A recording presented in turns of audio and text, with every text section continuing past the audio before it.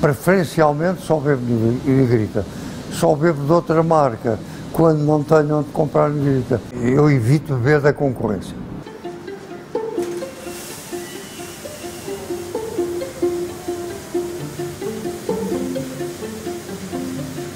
Cafés Negrita é uma empresa familiar gerida por mim, o pai da, das crianças e pela minha filha.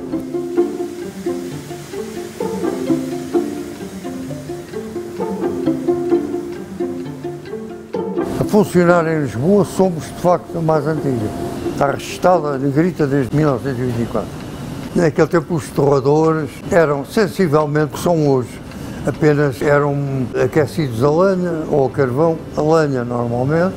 O processo é idêntico, só que onde estava a lenha estão os filamentos que eh, provocam o aquecimento.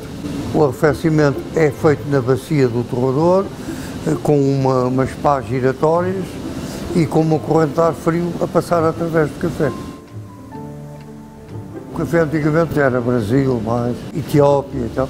Temos diversas origens. Agora, nós trabalhamos preferencialmente robustas de Angola e depois torramos arábicas do Brasil, Quénia. É uma torra absolutamente natural, sem aditivos. Nós, pelo menos aqui na Negrita, não pomos aditivos de espécie nenhuma. Em casa, antigamente, moía-se o café no moinzinho, fazia-se no balão que é o café que eu gosto mais, ficava aquele aroma na casa de jantar, era o ideal. Mas isso hoje dá muito trabalho eu gosto pouco de trabalhar. Já estou cansado, não é que não, evito. Eu tenho 90 e tal anos. É? Aos 14 ou 15 ou 16 comecei a beber café com açúcar. Fui continuando, não ponho muito, ponho hoje menos do que punha, mas continuo a gostar de café com açúcar.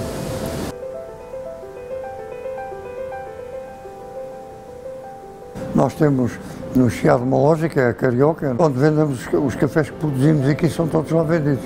Independentemente disso, as boas lojas da especialidade de Lisboa são nossas clientes.